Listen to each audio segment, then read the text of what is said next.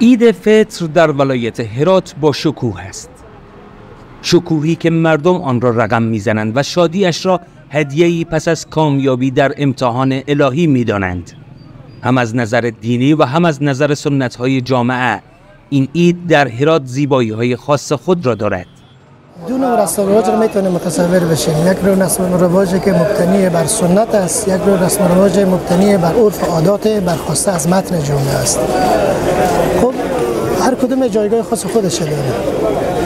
مثلا اون جایی که در مبتنی بر سنت است یعنی برخواسته از متن متون دینی است رسم رواج های عیادت هاست رفت آمده و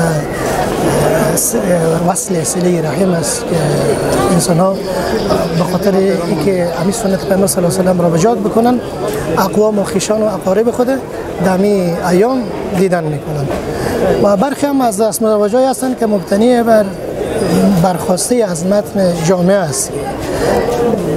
داد و ستد های مثلا ایدی و و شیرینی های مروجی این شهرها و ولسوالی ها اما از رسوم خاص مردم هرات برتن کردن لباس نو رفتن به نماز عید و دید و بازدید است.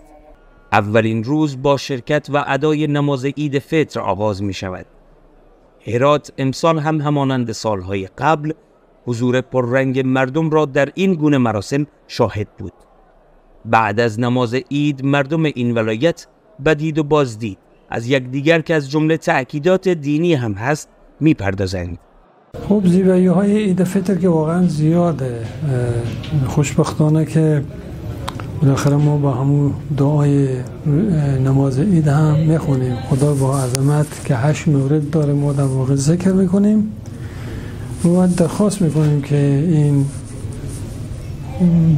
عید قرار بده برای همه مسلمان ها و این عید برای پیامبر بزرگوار اسلامه همونطور که مشخص است عید به معنی بازگشت هسته و در واقع بعد از سی روز شب زندهداری و در واقع روزداری در واقع انسان ها به فطرت خود خود برمیگردن پاک و بیالایش میشن انشالله امیدوارم که همه مسلمین جهان در واقع این چیزهایی که در طول یک ماه به دست آوردن بتونن در طول سال دوامدار از این فیوزات بهره ببرن. سه روز عیدی که داریم از روز اول عید که بعد از اقامه نماز عید. خلاص میشه بعد از او تمام مردم هر کس به خونه اقوام دوستا همسایه‌ای که دارن همه باید دیده بوده حتی به دیده بازدید اموات هم باید برن با این حال در گذشتن و حال رسم های بومی که در سه روز عید انجام می شود به شادی آن می افزاید. رسم و رسوم ایدی در ولسوالی های هرات کمی متفاوت است. به عنوان مثال کسانی که برای ایدی به یک خانه می روند دست خالی بیرون نمی آیند. توفه های ایدانه می تواند از شیرینی تا میوه های خشک باشد که به مهمان داده می شود. در ولسوالی ها باز کمی فرهنگ متفاوت تری وجود داره. اونا دسترخوان سفره ندارن. و مردم میان با پشقابای خورد خورد میارن برای هر کس طفل و بزرگ رو می‌گذارن. علما رو می‌کنن تعظیم می‌کنن در اینجا چیزی برای علما باز کمک می‌کنن. همین یک فرهنگ وجود داره تا سر روز عید. برای برای خانم ها این پروسه کمی گسترده تر است. اونا بیشتر در بعد از عید هم چون در جریان سر روز عید اونا نمی‌تونن جای برن. میمان میای و مسئولیت یعنی به حساب پذیرایی و خدمت به مهمان ها به بیشتر به خانم ها همه چیز آماده می‌کنن. از این جهت خانم ها بعد از عید سعید سر روز عید اونا شروع می‌کنن به خانه اقارب و اقوام و خویشاوندان دفت آمد دارن. یعنی یک فرهنگ مختصر عید است در هرات.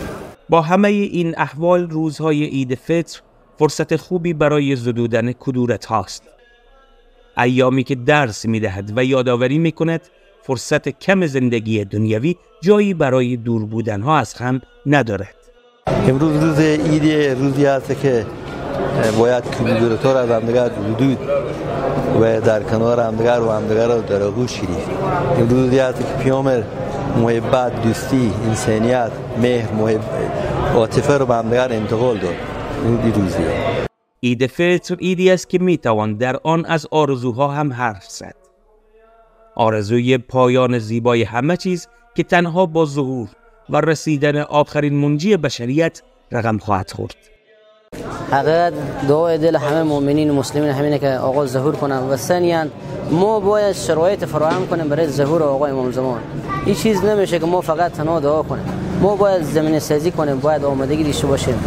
باید تلاش کنیم. در هر روسایی که هست که هر کس به هر نوعی به هر طریقی که هست اگه کسب کاره اگه به معلمه اگه بالاخره هر شغل چیزی که داره تلاش خود بکنه زمین سازی کنه برای فرج آقای امام همانند هرات.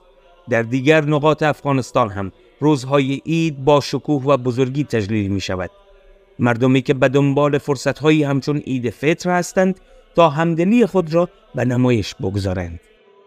با این حال در سه روز عید فطر که در افغانستان تجلیل می شود گرمای مهربانی به فراوانی به چشم می خورد. در هرات دلگرمی ها در میان شادی های ایدانه مردم دیده می شود. جشنی به نام عید فطر که خالق این همه زیبایی هاست